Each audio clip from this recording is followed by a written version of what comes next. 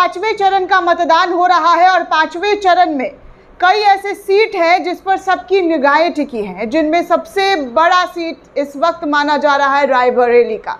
यहाँ से राहुल गांधी चुनाव लड़ रहे हैं। राहुल गांधी ने रायबरेली से इस बार नामांकन किया है और जमकर प्रचार प्रसार भी किया।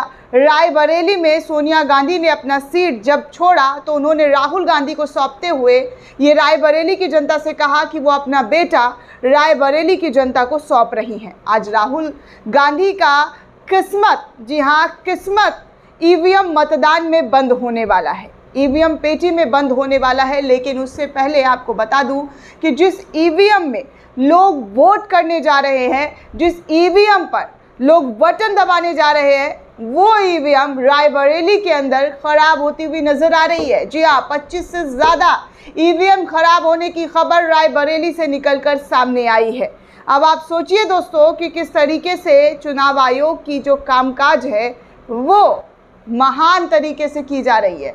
इन सवालों का जवाब किसी के पास नहीं है फ़िलहाल तो लेकिन आपको जानकर बेहद हैरानी होगी कि रायबरेली में कैसे एक बड़ी तादाद में ईवीएम ख़राब होने की खबर निकल कर सामने आई है। इस वीडियो को कई यूज़र्स के ज़रिए शेयर करते हुए जानकारी साझा की जा रही है और कहा जा रहा है कि रायबरेली में सुबह 20 से ज़्यादा ईवीएम जो है वो ख़राब निकल गया है। इन्हें बदलवाया जा रहा है। इस वजह से कई जगह पर मतदान देरी से शुरू हो सकता है। अमेठी में भी कई जगह ईवीएम ख़राब निकलने की सूचनाएँ लगातार जो है वो सामने आ रही है। अमेठी और रायबरेली सीट, इन दोनों पर कांटे की टक्कर वाली जो लड़ाई है, वो देखने सुनने को मिल रही है। सबसे पहले तो यही अंदाज़ा लगाया जा रहा था कि राहुल गांधी अमेठी से चुनाव लड़ेंगे। मीडिया में खूब हवाएँ और खूब खबरें चलाई जा रही थी कि अमेठी में स्मृति ईरानी को टक्कर देंगे। लेकिन जब से राहुल गांधी ने रायबरेली में अपना नामांकन किया है, तब से भाजपाइयों के मुँह पर ताला लग गया है। या तो वो कह रहे हैं डर कर भाग गए हैं। और कांग्रेस के लोग कह रहे हैं कि हम डर कर नहीं भागे हैं।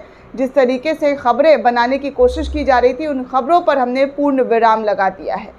तो ये सब कुछ चल रहा है, लेकिन यहाँ पर आज मतदान केंद्र पर जो खबरें निकल कर सामने आ रही है, वो है ईवीएम ख़राब।